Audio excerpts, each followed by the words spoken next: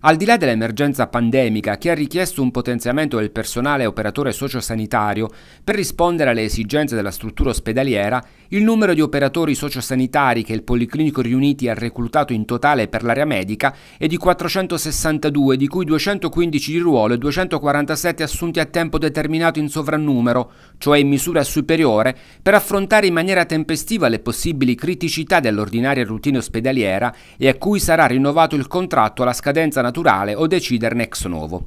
È la risposta della Direzione Generale del Policlinico Riuniti di Foggia alle lamentele esposte al collettivo Infermieri Autonomi, secondo cui gli infermieri nei reparti no Covid al Policlinico Riuniti erano demansionati svolgendo il lavoro degli OS. La direzione del nosocomio ribadisce invece che anche dopo l'emergenza Covid l'ospedale potrà contare sullo stesso numero di operatori sociosanitari.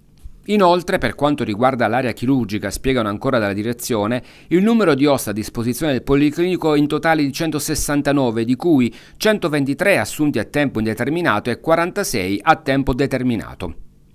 Per entrambe le aree da considerare che la maggior parte degli assunti sia stata assegnata prevalentemente a suo tempo nei reparti a vocazione Covid e che ora, con il crollo dei contagi, ci sia una riorganizzazione dello stesso personale in reparti ordinari con turni e ferie garantite. Così stando le cose, ribadiscono ancora dal Policlinico, il totale generale degli OS sale a 631.